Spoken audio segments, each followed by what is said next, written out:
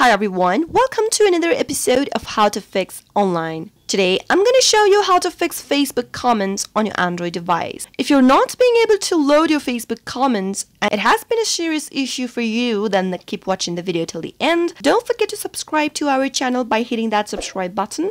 Also press the notification bell icon so that you'll never miss another upcoming uploads from us. If you're not being able to load your comments on Facebook, then here are some solutions for that. First, make sure to refresh your Facebook app. In some cases, refreshing the Facebook app solves the issue. In order to do that, simply make sure that you close off your background application from your Android device, which will give your Facebook app a quick refresh. Now tap open your Facebook and see if your comments are loaded back again. If that works for you, then that's great, but if it does not, then the next thing to do is to clear cache from your Facebook app. Go and tap open your settings button from your Android and once you open it up, search for apps from the list. Give it a tap and from the list of the apps displayed on the next page, search for Facebook. Once you find it, tap it on and from the app info page, tap on the storage button. Now, Tap on Clear Cache at the lower right hand corner, which will clear out your cache from your Facebook application. When you're at it, simply tap on the Clear Data button at the lower left hand corner as well,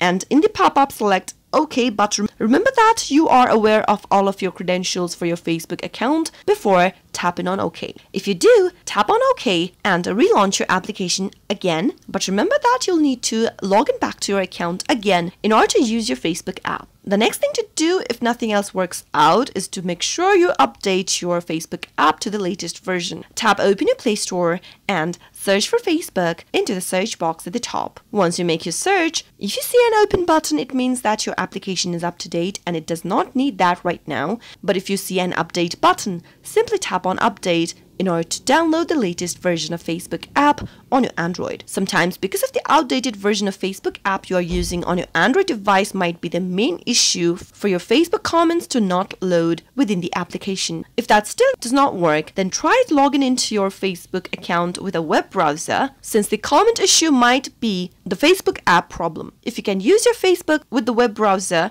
just fine, then you can keep using Facebook from the web browser until the application problem has been solved. Those were some of the fixes you could try out whenever you are trying to fix your Facebook comments, which is not loading on your Facebook app. I hope the tutorial was helpful to you. If it was, go ahead and give us a thumbs up. I'll be back soon with more tutorial videos like this. Thanks for watching.